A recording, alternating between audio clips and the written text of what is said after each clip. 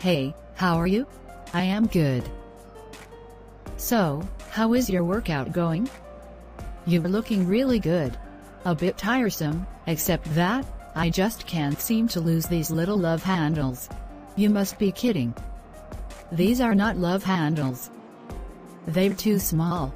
Really, do you think so? Yes, I do. I am tired of these love handles. It seems, they will never fade away. Don't worry, just concentrate on your exercises and stop eating junk food. I have stopped eating junk food, long time back. Then all you need to do is, fill your mind with positivity, and continue exercising.